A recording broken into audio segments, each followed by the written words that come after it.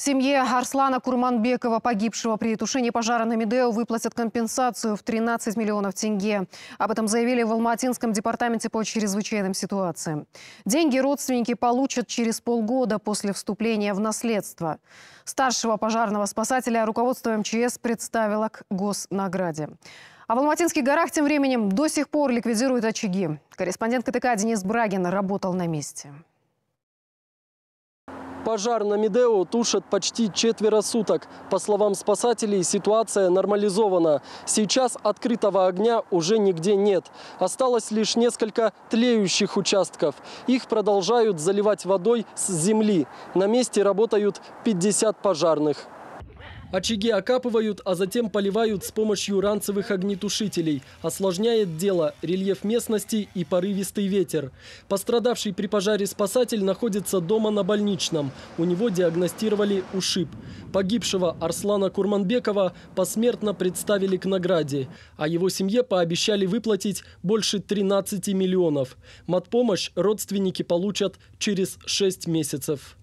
Единовременное денежное довольствие в виде 60-месячного денежного содержания будет составлять более 13 миллионов тенге. Будет выплачена э, компенсация на расходы на погребение. Эта сумма предусмотрена в трехмесячном денежном содержании. Это составляет примерно около 600 тысяч тенге. Начальник рассказывает, 29-летний сержант Курманбеков устроился в пожарную часть 8 лет назад. В свободное от службы время учился в университете. Никогда ни с кем не ссорился. Любил проводить выходные в компании друзей на природе. А недавно собрался жениться и уже вовсю готовился к свадьбе. У Арслана остались пожилая мать и несовершеннолетний брат. Он и улыбался.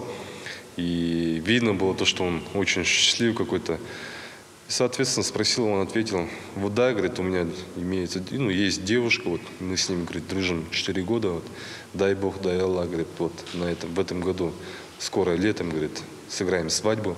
Сейчас, говорит, вот оповестил, мама, все в курсе, э, выбираем вот ресторан, Площадь сгоревшей территории остановилась на отметке 3000 квадратов. По предварительной версии к возгоранию причастны люди. Специалисты не исключают, что кто-то в неположенном месте разводил костер или намеренно поджег сухостой. Точную причину установят следователи.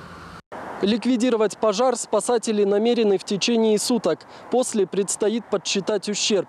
Как рассказали в нацпарке, на поврежденной территории были в основном засохшие тяньшанские ели, поваленные ветром в 2012 году. Редкие растения не пострадали. Высаживать на обгоревшем склоне новые деревья пока не планируют. Естественное восстановление природы займет не меньше 10 лет. Денис Брагин, Вячеслав Тимофеев, Алмаз Абдешев, КТК, Алматы.